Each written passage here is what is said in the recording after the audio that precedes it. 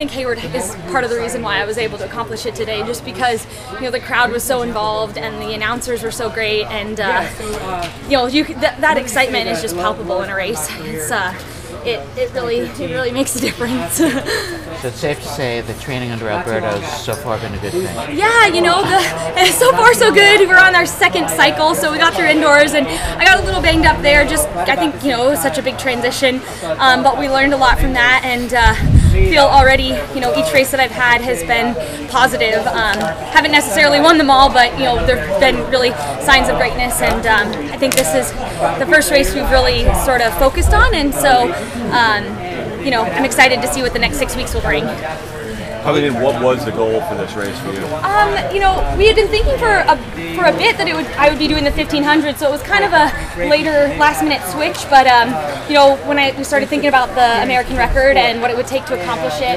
um, I knew that it was within my capability. So that was definitely my goal going in to try to to break um, that that American record. I haven't heard Amy Rudolph's name in a while. Yeah, it was cool. It was hard for me to find the two mile record. It wasn't really listed anywhere, and um, fortunately, someone dug it up. Uh, it was funny looking at the start list for this race when it was like you know 15 people and only two had PRs in the two miles. So um, all of us probably got PRs today, so that's good. How has your training changed over since switching over to Alberto? Um, in some ways, very similar. In some ways, a lot different. Um, with Coach Cook, we do maybe lower mileage and in, um, volume and intensity, but every day would maybe be a little bit harder.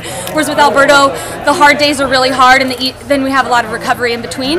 So I'd say that's the most significant difference. Um, and then in terms of just having a coach, an assistant coach, weight coach, psych coach, teammates, like I mean, that is just night and day in comparison. so moving forward, what's next for you? Um, I have New York 1500, um, USA's. We're still up in the air about what event.